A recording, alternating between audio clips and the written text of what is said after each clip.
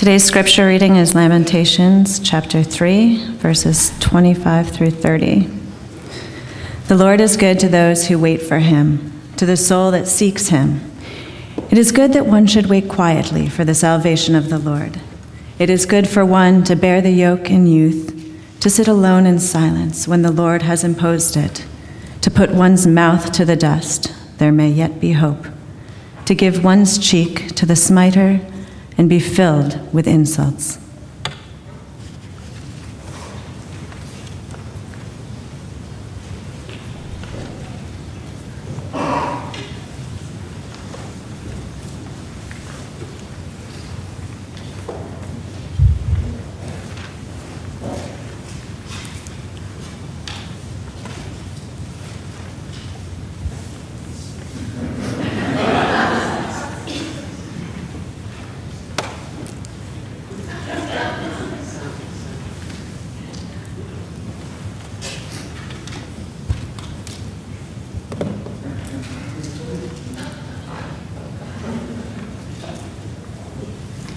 So, is that awkward for anyone?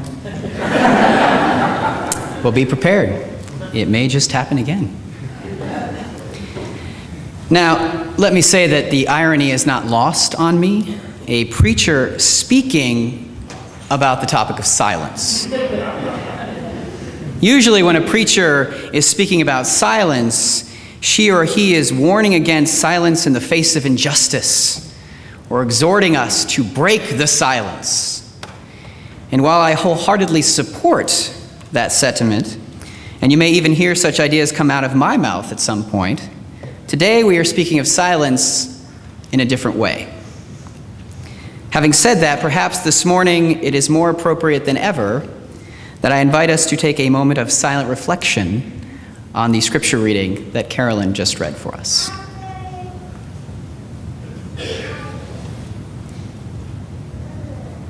Amen. How many of us can really speak to what it is like to experience true silence in our lives?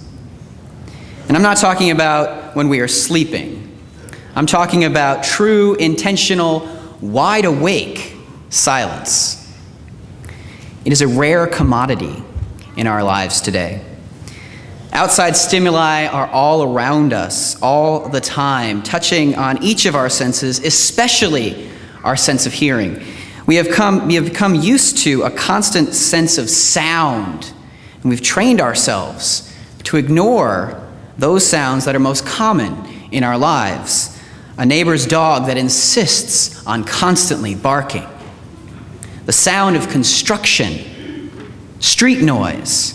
In fact, I'm willing to bet those of us who live within earshot of LAX probably don't even notice the sound of planes taking off and landing anymore. Catholic theologian Richard Rohr says it like this because of iPads and cell phones and billboards and TVs and iPods, we are toxically overstimulated people. For many, if not most of us, what is the first thing we do when we get into the car to go somewhere? Turn on the radio. And often it isn't even to listen to anything specific, it's just for background noise. We often do the same thing at home or at work with the television or the radio or the iPod on shuffle. And these are just often secondary noise sources for us. For we are also surrounded by talking and yelling and screaming and crying and barking and meowing and the various sounds of cars and trucks and public announcements at the grocery store or the department store or just the sound of children playing or workers working. Life in its many wonderful and noisy forms. As I said, silence is a rare commodity, my friends, and we could definitely benefit from more of it. Let's try for a moment right now.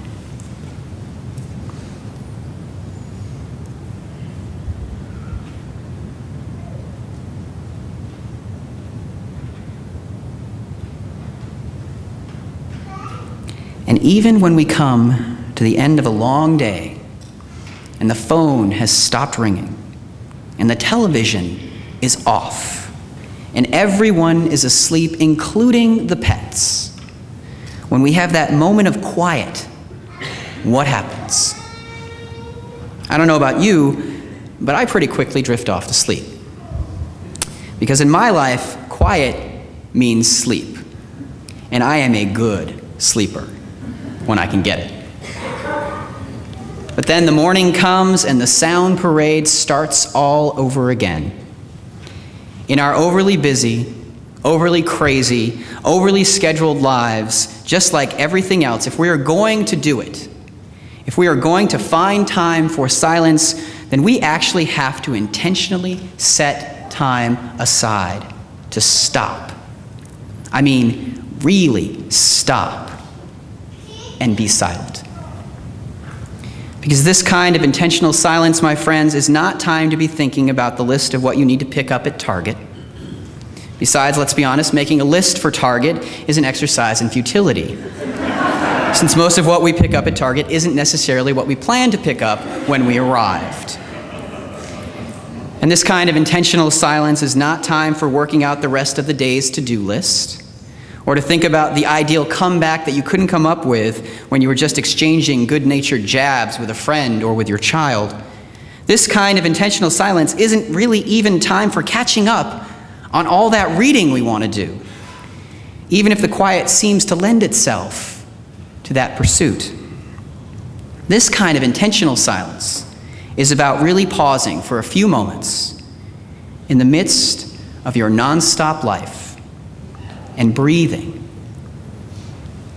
and clearing your head and creating space to connect with something more eternal than the passing moments of the day, something more grounding than the myriad tasks that you face, something more substantial than the concerns of your office. It is about pausing and breathing clearing your mind, and opening yourself up to an experience of God.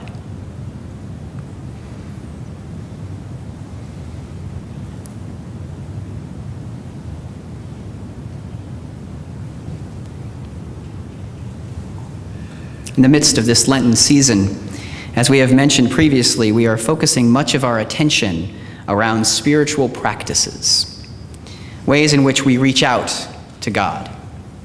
It may not be directly intended when we speak of such activities as practices, but as we seek to engage them, one thing that becomes quite clear is that we do need to practice. Service and almsgiving, silence and meditation, prayer, fasting, engaging scripture, and prophetic celebration. None of these are things that we necessarily include as part of our natural everyday life.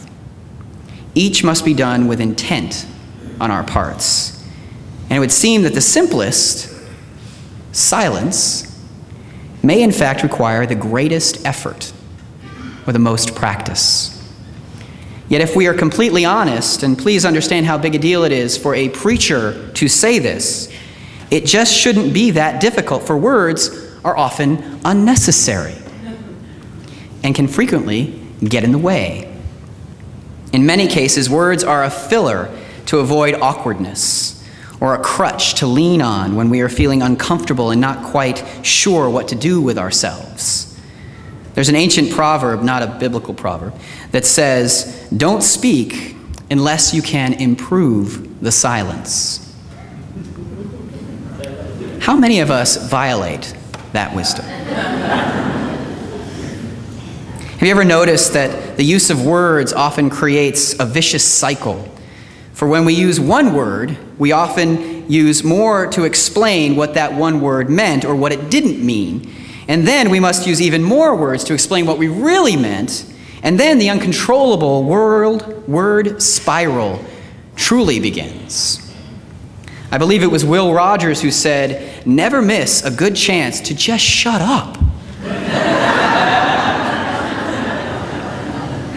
For there is much that can be gained in silence.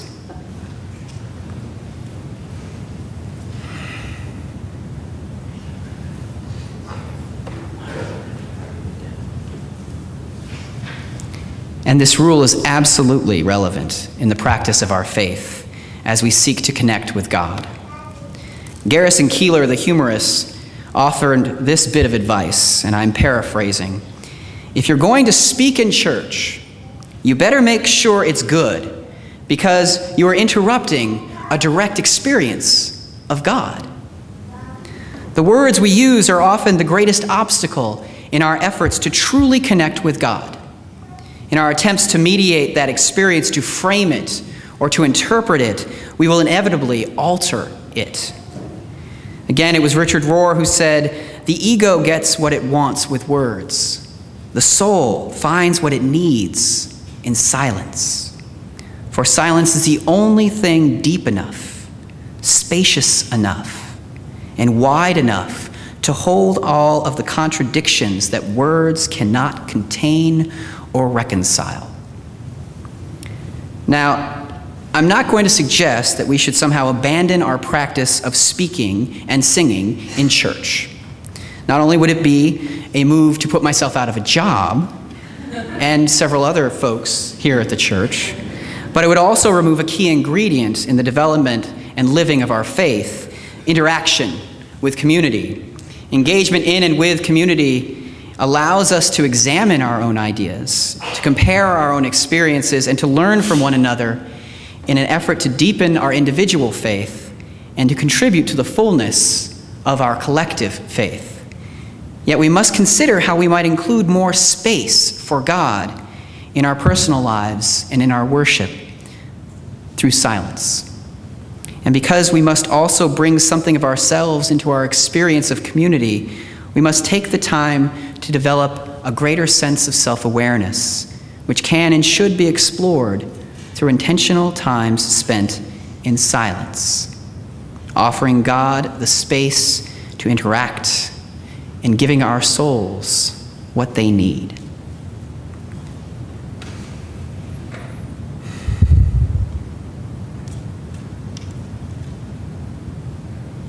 It really is a wonderful experience, the experience of intentional silence. Whether it be just for a few moments at the beginning of the day, whether you do so in what seems a more acceptable and directed way through meditation or mindfulness training, so that it appears like you're at least doing something with your time while you're doing nothing. Or whether you simply steal time in between tasks or appointments. In whatever way, choosing whatever means, it is truly worthwhile to engage this spiritual practice, to take that moment of pause in the midst of an otherwise busy day, to set aside distractions to leave behind the noise and sit in your own space, freeing your mind, if only for just a few moments, of the clutter, and creating space to allow your thoughts to move and to allow yourself to welcome God in. It was Mahatma Gandhi that said, in the attitude of silence, the soul finds the path in a clearer light. And what is elusive and deceptive resolves itself into crystal clearness. And it was Mother Teresa who offered that in the silence of the heart, God speaks. If you face God in prayer and silence, God will speak to you, and God can fill you. Great thinkers say some wonderful and impressive things about silence, don't they? And your preacher just spent a little over 1,500 words on the topic. It's a lot of words to explain something truly profound in its simplicity. Yet, what is being offered here is simply a roadmap to something greater to be found when the words cease and the silence comes. Just listen to what the silence is saying.